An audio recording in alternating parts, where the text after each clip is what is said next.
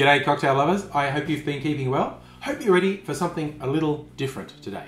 What I'm doing today is inspired by a video I saw recently on the Cocktail Chemistry channel. He does quite a lot of interesting thing and there was a video recently where he made cocktails for his Indian father-in-law and so they were a lot of spiced cocktails to appeal to his father-in-law. And he did a particular version of a bottled old-fashioned where he made his own syrup. And I thought I like that idea. And I also saw Uncle Pete on Uncle Pete's cocktail shop doing an Angostura cordial. And just this idea of all making these things with special flavors. I, I, I want to do some of that. And so I'm not going to do the recipe that Cocktail Chemistry did but it is heavily inspired by him so the first thing I needed to do was to make the sugar syrup part.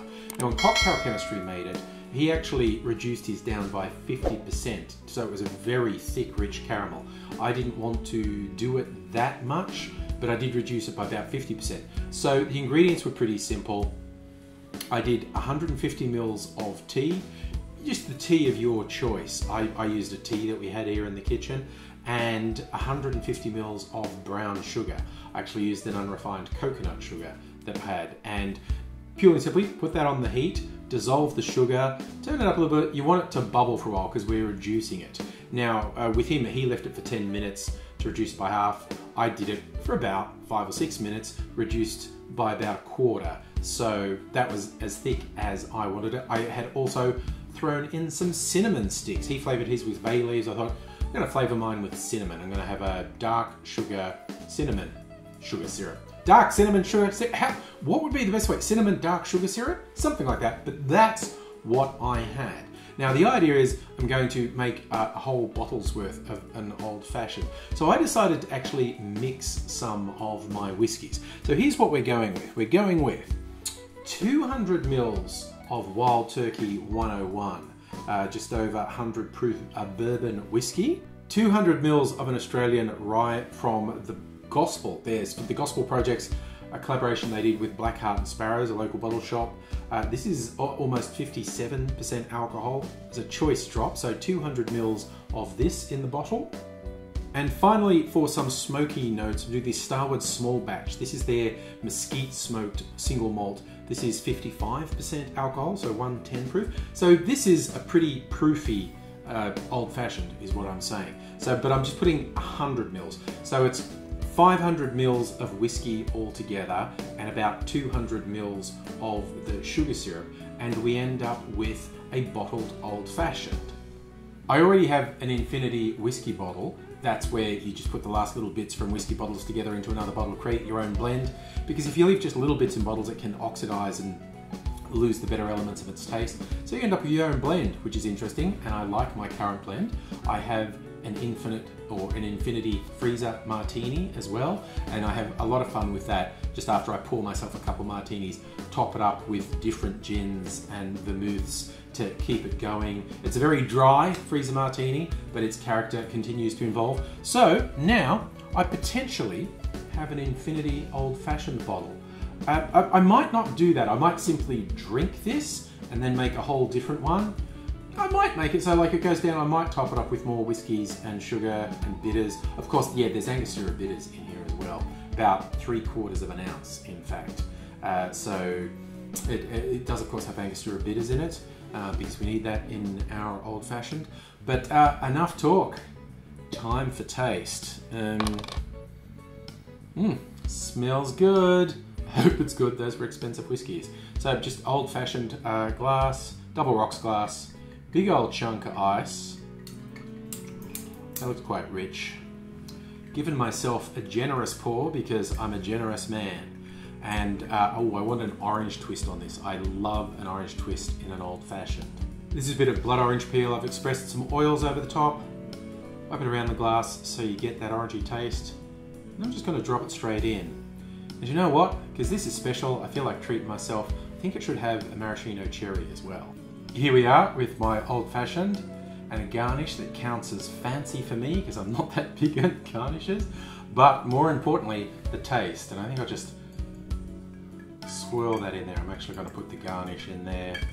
Give it a final stir, want it to chill, and uh, bottoms up.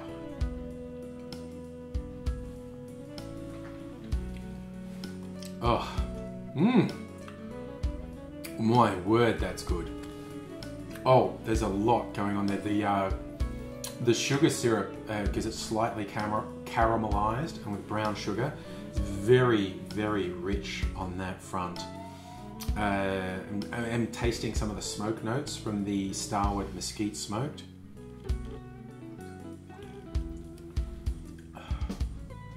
Oh, there's rye spice in there.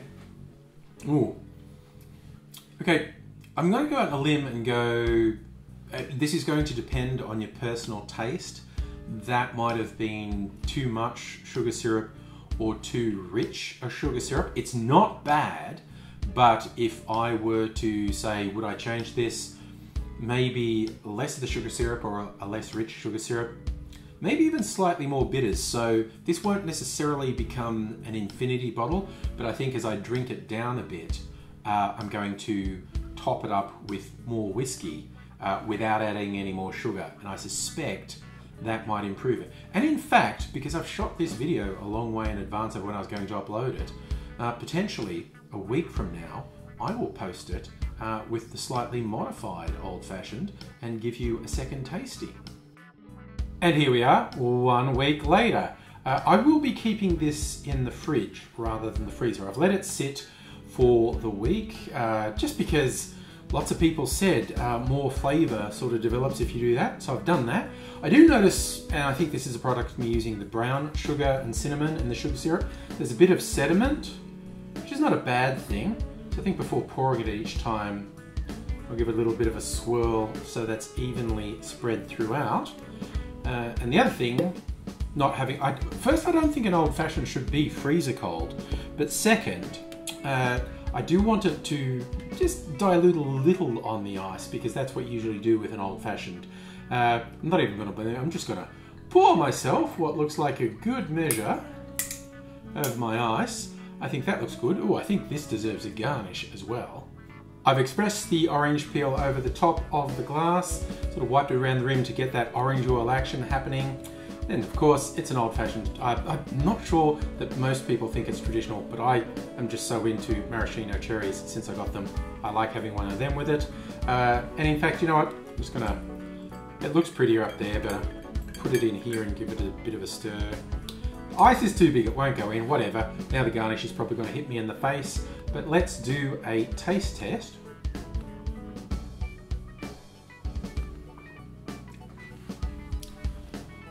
Ah, yes. All right, I think all the decisions I made were right. I tasted it the first time I made it, and it was good, but I think it was too sweet. So over the course of a day or two, I actually gave myself two serves of it anyway, just to be sure. And then I topped the bottle up with, in fact, a fourth type of whiskey, uh, Starward's Nova single malt. Added some more bitters, uh, some Angostura and some orange bitters, didn't add any more sweetener, and put it aside. And I'm confident I made the right decision. This is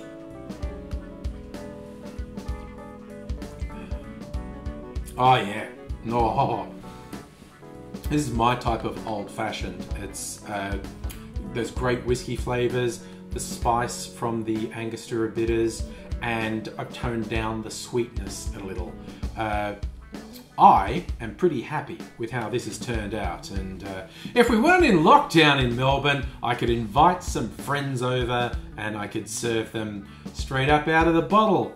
Uh, in all honesty, I'm probably not going to drink that too fast. Be out of lockdown in a couple of weeks, and I will be able to invite a friend over.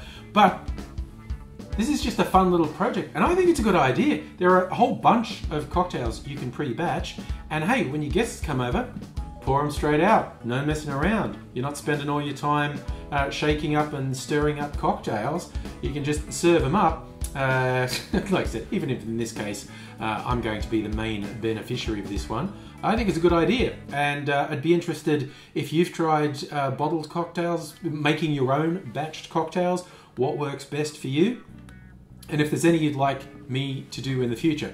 The next one I'm going to do, I've already decided, is actually going to be a rum based one. I actually sounded out some friends, what should I do next? I have a freezer martini, which I never made a video about, uh, and this one and the vote was to do something rum based so I'm going to do a freezer daiquiri and we'll see how that goes. That should be live in a week or two on the channel. Uh, but in the meantime I do hope you look after yourself and look after people around you. Until I see you again cheers